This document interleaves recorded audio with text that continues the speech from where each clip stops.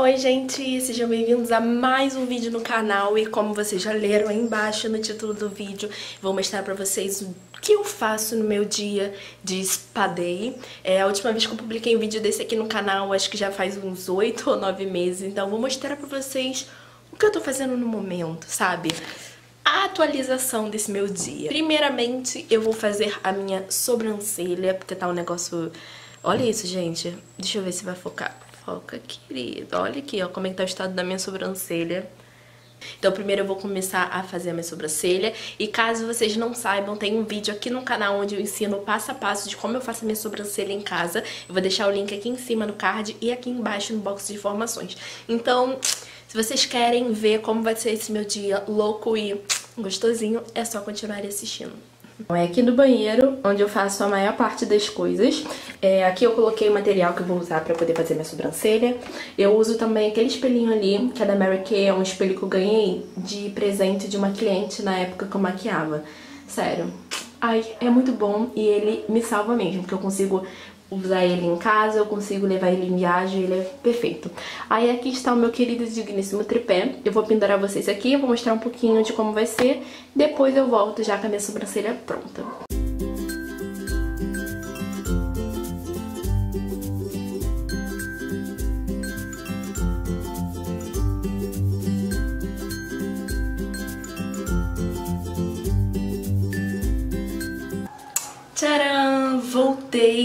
Sobrancelha pronta. Vou mostrar mais de perto pra vocês. É, eu tô mantendo o mesmo formato, só que eu tô mudando as medidas. Por exemplo, eu tô deixando essa partezinha aqui um pouco mais fina. Peraí, foca, querido. Focou. Tô deixando essa partezinha mais fina, esse daqui mais fina, esse daqui mais fina. Só que aqui ela tava um pouquinho mais pra cima antigamente, no formato anterior. Só que eu tô abaixando ela um pouquinho, então tem que esperar um, cre crescer um pouco de pelo aqui, tem que esperar crescer um pouquinho de pelo aqui, aí essa daqui fica ok. E desse lado aqui precisa crescer um pouquinho de pelo aqui embaixo e um pouco de pelo aqui, ó. Bom, já terminei de fazer minha sobrancelha, então o próximo passo vai ser tomar banho. É... No meio do banho eu vou aproveitar pra poder me depilar, né? Porque aqui está desse sovaco, gente, tá cheio de pelo. cheio de cabelinho, então eu preciso raspar e ficar chuchuzinho. Então eu vou tomar um banho, vou me depilar e depois eu volto.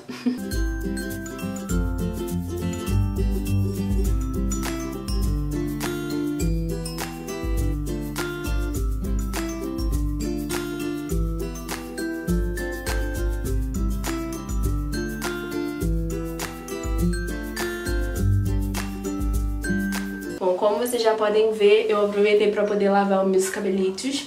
Já lavei, fiz hidratação. Agora, enquanto eu deixo ele um pouco aqui enrolado na toalha pra toalha sugar um pouco da água, eu vou aproveitar para poder lavar meu rosto, fazer meu cuidado, minha rotina, né, diária de cuidados com a pele que eu faço na parte da manhã. Eu já tenho um vídeo aqui no canal onde eu conto o passo a passo dos meus cuidados. Eu vou deixar o link aqui em cima no card e aqui embaixo no box de informações.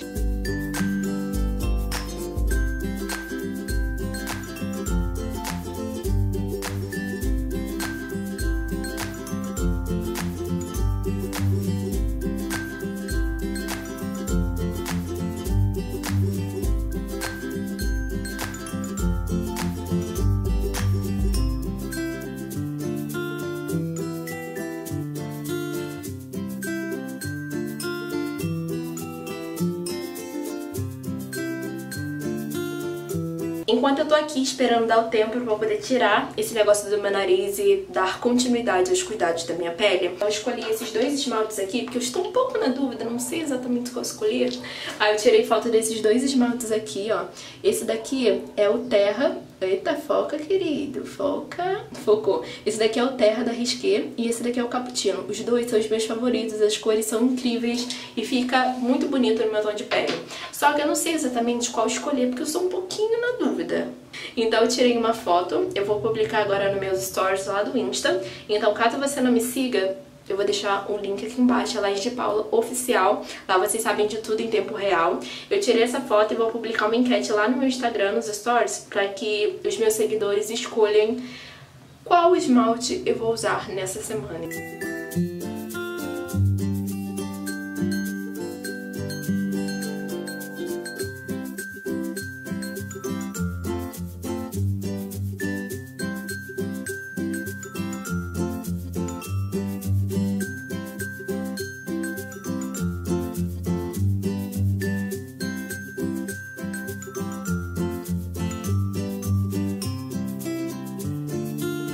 Agora que eu já terminei de cuidar da minha cutis, eu vou pentear o cabelo. O produtinho que eu vou usar agora pra poder finalizar é esse daqui. Ele é da linha Keramax da Scaf. Ele é da linha Hidratação Profunda, é um leave-in, selante, defrisante. Ele é um finalizador que é ótimo, ele também tem proteção térmica e ele é termoativado. O termoativado significa que o seu cabelo ele vai adquirir, absorver todos os, como é que eu posso dizer, atributos, componentes as funções desse produto quando ele entrar em contato com uma fonte de calor. Só que o que acontece? Eu não seco meu cabelo com secador, dificilmente eu faço isso. Então, eu vou usar ele agora para poder finalizar, depois eu vou fazer as minhas unhas e quando ele já estiver totalmente seco, eu venho para poder pranchar o cabelo.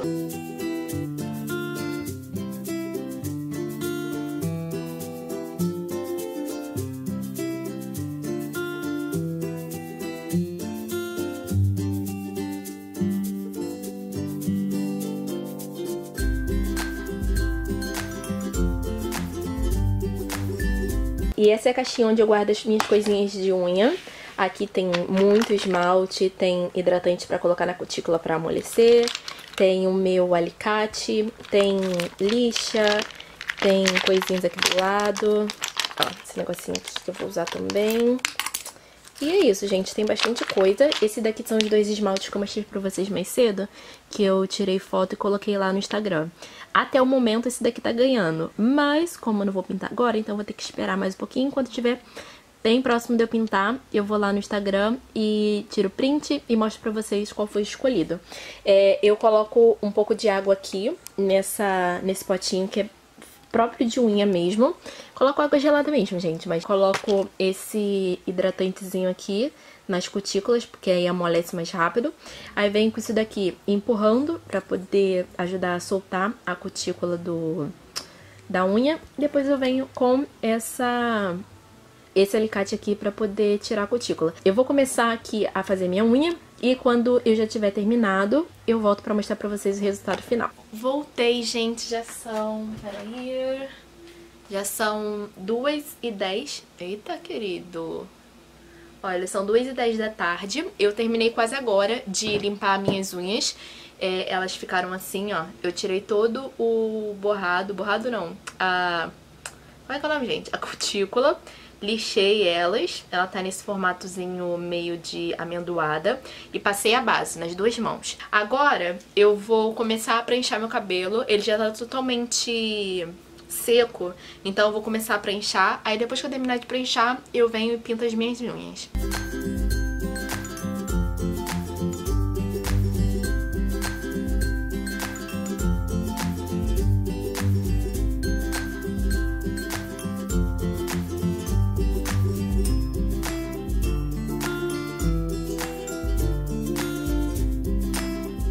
Vocês acreditam? Eu vou mostrar o horário pra vocês. São do 4 e 52 da tarde. Olha isso. Eita, olha. 4... Foca, querido. 4 e 52 da tarde. Só agora que eu consegui terminar de fazer o cabelo. Porque dessa vez eu tava dando muita, muita, muita atenção pra ficar tudo certinho. E pra finalizar o cabelo, eu vou usar esse sérum aqui, gente, que ele é reparador e finalizador. Ele também é um sérum termoativado. Eu acho que vocês não vão conseguir ver direito. Peraí. Deixa eu tirar a câmera aqui do lugar. Aqui, ó. Esse daqui. Ele é da Keramax, da Scaf, só que ele é da linha de reconstrução capilar. Mas eu gosto muito de usar ele porque ele deixa meu cabelo lisinho, acaba com frizz. E você pode usar ele como finalizador. É, usar ele e depois secar e pranchar. Ou você também pode usar ele como sérum. Que depois que você pranchou, você só passa ele por cima, passa ele pelos fios. Pra poder colocar ele no lugar, deixar tudo alinhadinho. Sem contar também que deixa com um brilho sensacional. Aí eu pego ele, coloco um pouquinho aqui. Bem pouquinho, gente. Olha, não sei se vocês vão conseguir ver, mas ele é transparente, olha. Opa, tá vendo? Olha, ele é transparente e ele escorrega bastante. Ele parece muito com ele tem um cheiro maravilhoso de protetor solar. Ele parece muito com um reparador de pontas. Eu passo bastante aqui em cima pra dar conta dos frios. Ui, e passa assim, ó, nas pontas. Gente, eu dou muita atenção nas pontas.